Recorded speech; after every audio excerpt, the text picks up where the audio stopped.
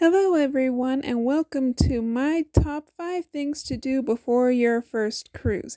Please note that I do not own anything here. These opinions are strictly based on my own experience. Number one, complete your check in online before your cruise. This will save you a lot of time. While you can do it in the terminal, it'll make it so much easier for you and the crew when you arrive. Number two, Arrive in port a day early. With everything that goes on with the flights and everything, it is so much less hassle to arrive in port the day before your cruise.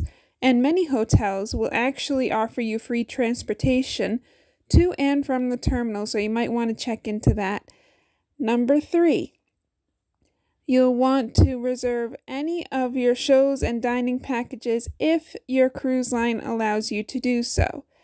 Number four, get your COVID card uploaded to your site before you go. This will save you a lot, a lot, a lot, a lot of time during the check in process on the day of, which, by the way, when you check in, you should make sure that you stick to your arrival time because that will hold everyone up in the long run. And finally, reserve any shows that you can ahead of time.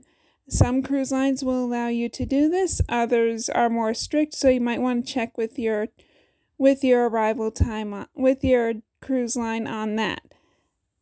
Anyway, those are my those are my tips for first-time cruisers. I hope you enjoy and I'll and I'll talk to you again soon.